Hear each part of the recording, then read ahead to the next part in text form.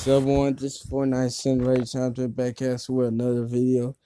In, in today's video, I, I bring you and uh, mm, because today, like when I try to install the uh, bootleg, the Grand the bootleg Grand Theft Auto game that that people are talking about, like on YouTube.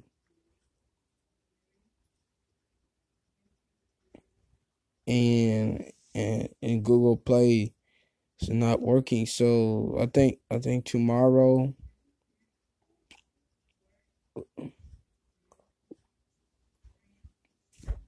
I, I think tomorrow I will I will do a video about oh bootleg Grand Theft Auto this Fortnite Race Time. This quick update about Google Play. Peace. I want this 49CentRage Time. Sign up and have a nice blessed day.